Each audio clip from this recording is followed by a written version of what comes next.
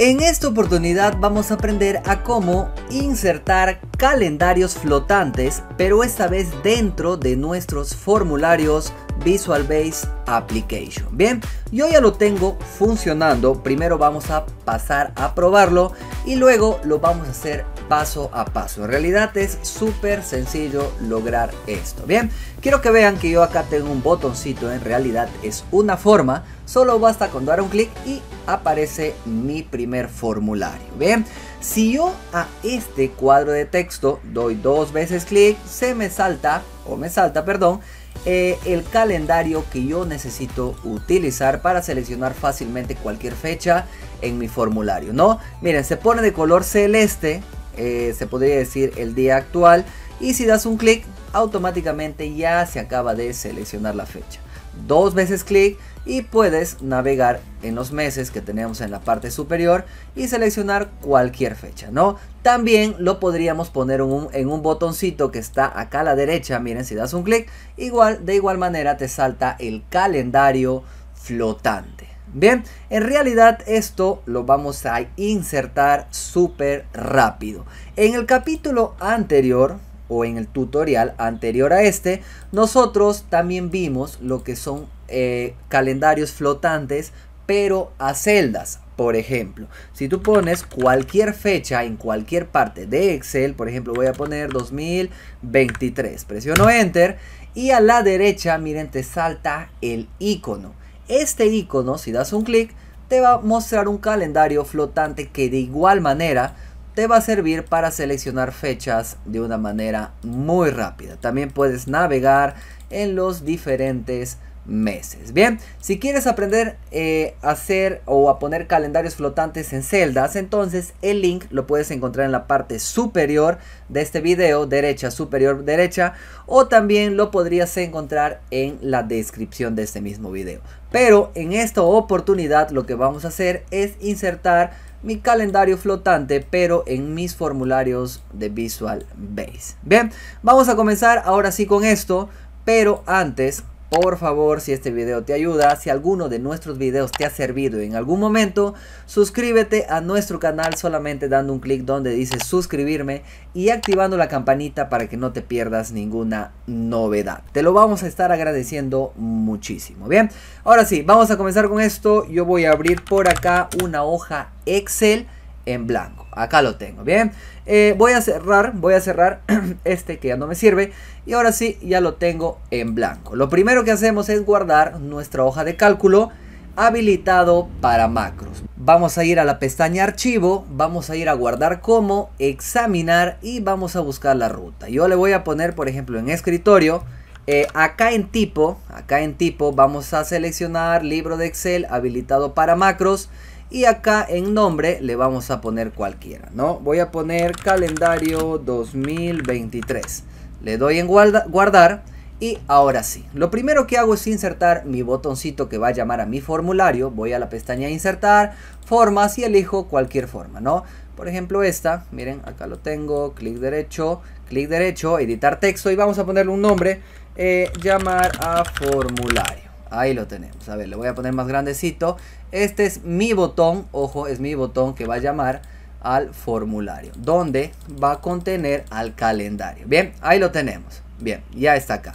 Ahora vamos a pasar a crear nuestro primer formulario. Dentro de la hoja vamos a acceder a Visual Base, ¿no? ¿Cómo accedemos? Clic derecho, nos vamos a ver código y les va a saltar la ventanita de Visual Base. Vamos a insertar nuestro primer formulario que lo podemos hacer eh, de la pestaña archivo abajito donde dice insertar user for damos user for. Ahora sí ya tenemos el primer formulario vamos a insertar un cuadro de texto donde vamos a poner eh, la fecha un clic y lo ponemos por acá por ejemplo no eh, voy a insertar también un botoncito que está en el AB y lo pongo a la derecha para que funcione con dos veces clic y para que funcione con el botón. Y también podríamos poner un texto en etiqueta en la A y ponemos, por ejemplo, damos un clic acá y vamos a poner select, a ver, se, a ver, seleccione la fecha y dos puntitos. Bien, ahí lo tenemos. Lo voy a poner arriba, sí, para que se vea más ordenado. A esto lo bajo un poquito más y podría quedar así. Bien, ahora sí, lo que vamos a hacer a continuación es insertar nuestro calendario. Este calendario ya está creado, ya está programado. Lo único que vamos a hacer es llamarlo. ¿Y donde Yo lo tengo, miren, acá lo tengo, está en esta carpetita. Se llama calendario formulario VBA Excel.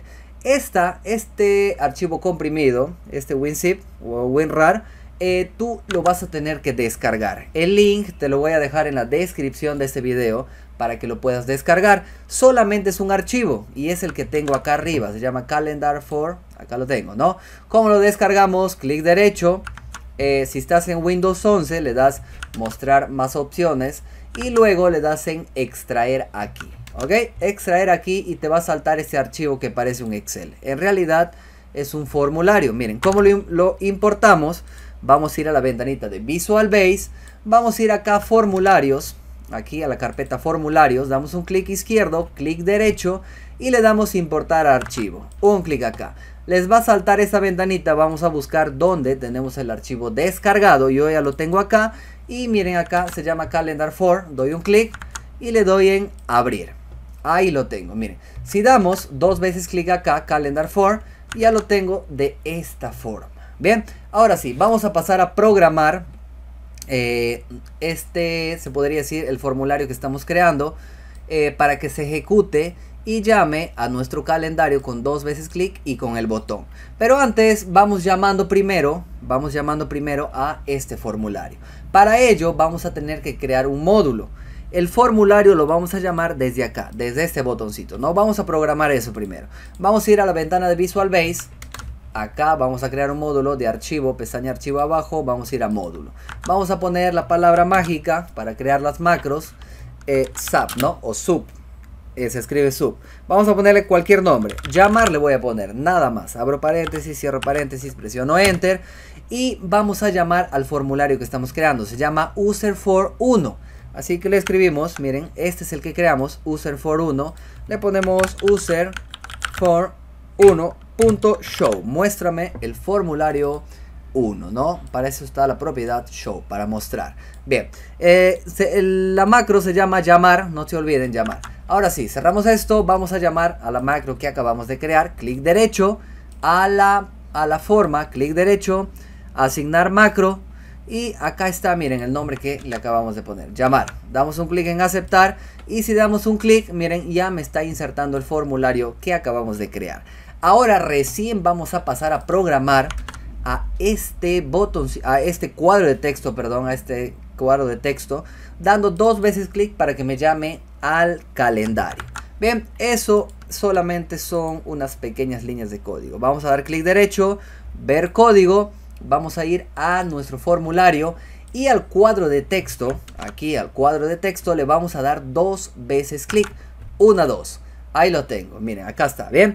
Aquí nosotros vamos a pasar a crear nuestra primera variable que va a contener la fecha. Y le vamos a poner, le vamos a poner dim para crear la variable y se va a llamar fecha. A esta fecha le vamos a declarar con la palabra as como eh, date, como date, eh, porque es una fecha, ¿no? Presionamos enter y lo que vamos a hacer ahora es llamar al formulario. Vamos a llamar al formulario, eh, se llama ¿Cómo se llama? Acá está su nombrecito, miren, calendar for.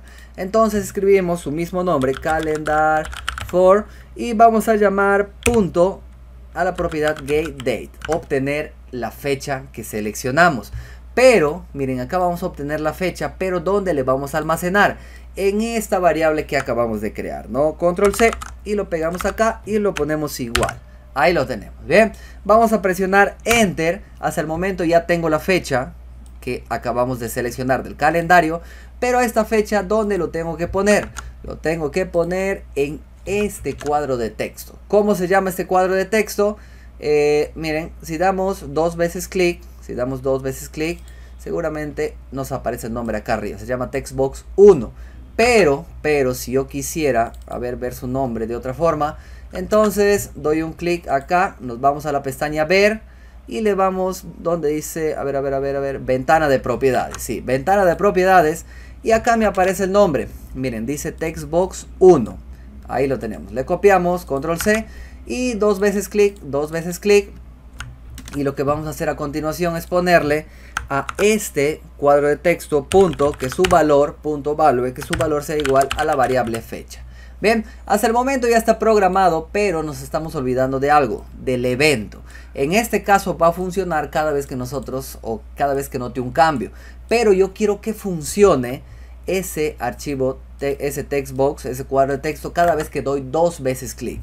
Miren, doy un clic acá en, en, en el evento change o en la misma programación y a la derecha superior, acá, miren, acá están los eventos tenemos el evento change, que es el que viene por defecto, pero yo quiero el que está bajito que dice dbl click, o sea, cada vez que doy dos veces clic que se ejecute. Un clic acá.